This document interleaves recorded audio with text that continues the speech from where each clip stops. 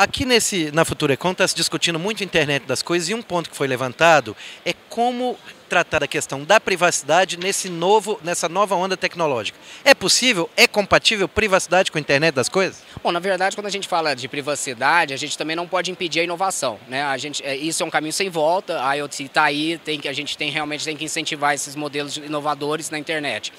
A questão da privacidade nada mais é do que é, na internet das coisas, não é diferente daquela que acontece na internet. O que muda é a quantidade de dados que são coletados.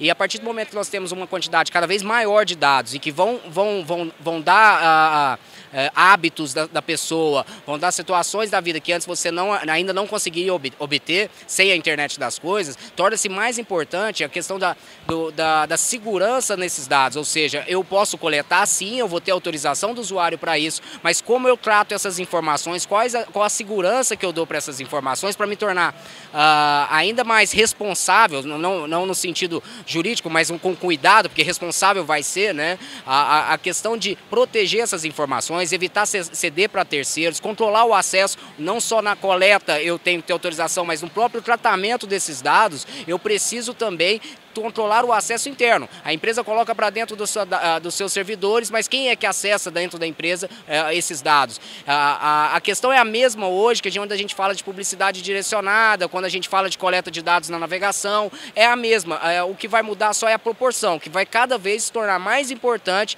a, a questão do, da segurança dessas informações e o controle de acesso aos dados. Nós temos alguns projetos em discussão, em tramitação, que tratam exatamente, ou buscam tratar da questão de proteção de dados. Tem inclusive um projeto encaminhado pelo Executivo, que seria a principal tramitação.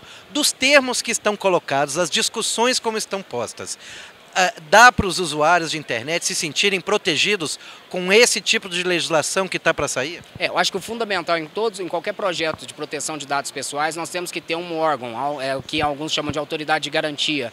É, é apenas esse órgão fiscalizando, com capacidade técnica para entender o que é uh, os dados, para poder é, fazer uma fiscalização de ver se os dados dos usuários estão sendo tratados da, e coletados da forma que foi ajustado no termo, no termo de uso ou na política de privacidade do site. Esse, para mim, é, é o ponto fundamental. Ah, em respeito, eu acho que talvez a grande discussão que se tem é se permitir a inovação, continuar tendo a, a, a inovação dos sites e, e, não colocar um consentimento tão expresso de uma forma que se torne impossível dos usuários, usuários uh, navegar. Ou seja, a questão hoje é como se vai coletar esse consentimento informado, né? aquela informação transparente para o usuário. Essa que, esse é, que é o ponto de discussão. Agora, de qualquer forma, nós precisamos é agilizar esses projetos. Nós já estamos muito tempo atrasados, nós somos um dos poucos países países que não tem uma, uma lei própria de proteção de dados. Senhor mencionou também, é, tem lá previsto essa, o que seria uma agência especializada, né, o, a, essa autoridade de proteção de dados como existe em vários países europeus, enfim, mas é, notadamente no caso da especialização. A gente tem visto, e especialmente em inúmeros processos judiciais, o que parece ser, para quem observa, um, talvez um desconhecimento, uma pouca familiaridade com dinâmicas da internet. A gente vê decisões de bloqueio de aplicativos que depois se tornam polêmicas e acabam caindo o, judiciário o, e, e todos os advogados, o Ministério Público, enfim, toda a instituição que, que em volta do judiciário está faltando conhecimento, está faltando especialização. Como é que isso pode acontecer?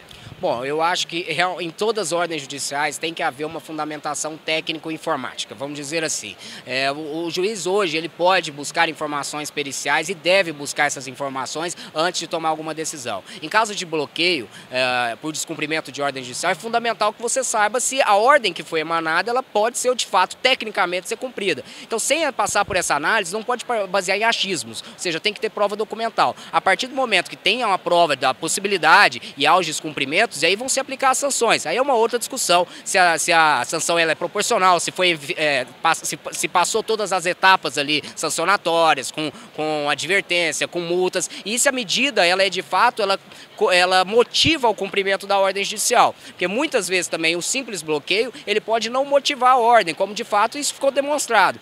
E, e que talvez, eu, eu, eu, penso que um caminho que pode ser sugerido nas próximas, nas próximas uh, situações semelhantes, é que, bom, enfrentada a parte técnica, é possível de se cumprir a ordem e a, a, a, descumprida ela e aplicada a multa não, não se conseguir chegar a, a, obter o resultado, você não proibir a atividade, mas suspender, por exemplo, novos cadastros, proibir a publicidade, a transferência desses dados para uma outra rede, como por exemplo o Facebook, que hoje estão juntos. Então talvez essas medidas possam, por, é, de uma forma mais efetiva, motivar as empresas a cumprir as ordens judiciais. É de alguma maneira garantir, inclusive, um ponto que foi mencionado nos recursos contra esses bloqueios, de proporcionalidade da decisão?